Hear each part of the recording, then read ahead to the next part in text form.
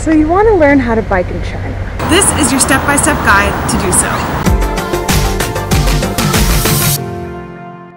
First of all, you're going to need to acquire a bike.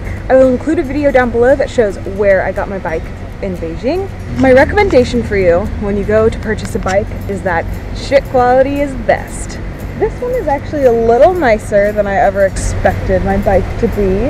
And the reason that I think you should get the crap quality ones is because it's less likely to get stolen.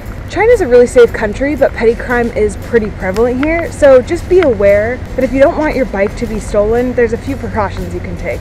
In addition to a bike, what you're gonna need is a bell, like absolutely necessary, you need a bell.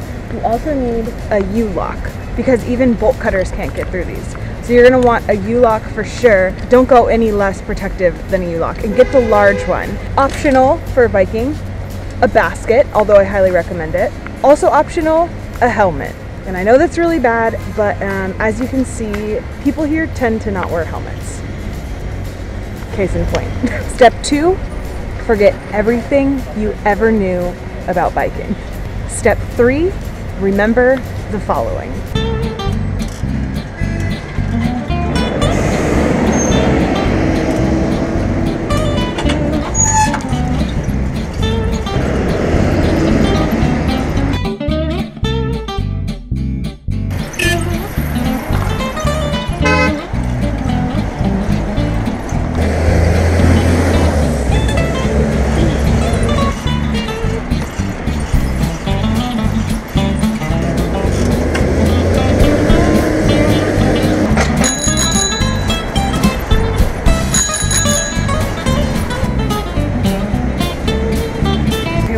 Personal pet peeves is when motorcycles zoom out from the side of you super fast, especially when they're like yelling something in a different language they don't understand.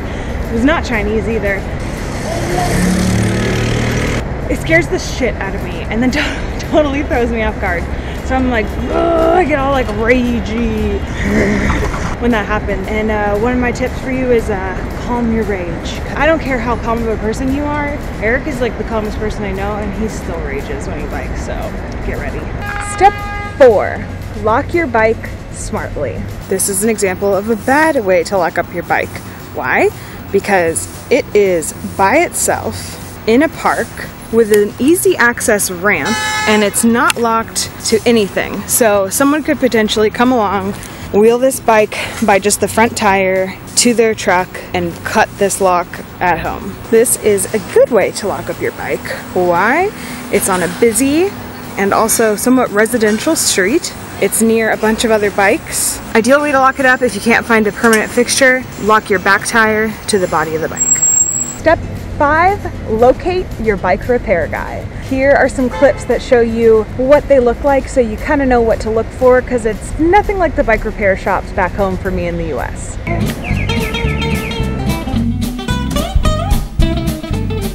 I hope this helps you get riding in China. I'm gonna butcher this, but Juni Haoyuan, which means good luck. You'll need it.